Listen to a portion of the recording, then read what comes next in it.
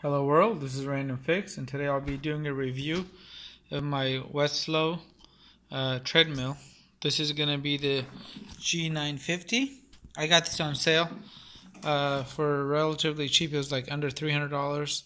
It's been about a year and a half. Uh, I just want to do a quick review of what I think. Uh, I've had a few treadmills uh, from Proform, which is really good. Uh, I just didn't want to spend that much money this time. But quick review of it. So this particular treadmill, and I'll send, I'll include a link below. Does not have any incline or decline as far as the motorized settings. Uh, you would actually take the, you would lift it up right here, and you just fold the the legs in to get a little bit of an incline.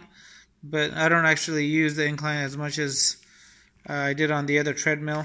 I just use it to uh, walk while I'm watching my show. Other than that, uh, it goes from 1 to 10 miles an hour.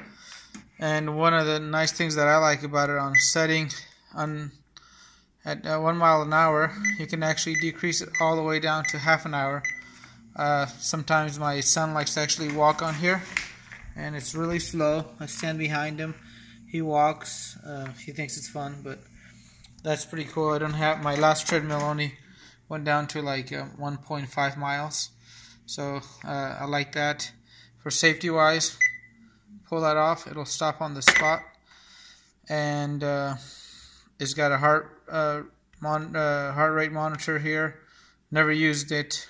Uh, I don't use any of the programs that are included on here but I'm sure they're pretty easy. But overall I would give it a thumbs up just based on price point um, and this review is done after about two years of use. Uh, no slipping. I have not had to do any adjustments on the treadmill. Uh, on my Proform, I was doing a lot more adjustments. The adjustments are normally done in the back, right in that screw hole right here. But uh, I have not had to do any adjustments on this. And then the nice thing about this is that it lifts up you can store it away. So you, you lift it up like that. You pull that little lever. This goes in. And then I've actually taken this inside the house a few times. Uh, it's really portable. It's got casters. So you can move it around. It's not too heavy. Uh, so I'm sure it's pretty easy to, to push back and forth. As far as assembly, I think I assembled this in less than half an hour. Uh, wasn't too much work. And so thank you for watching. And I give this value treadmill a thumbs up.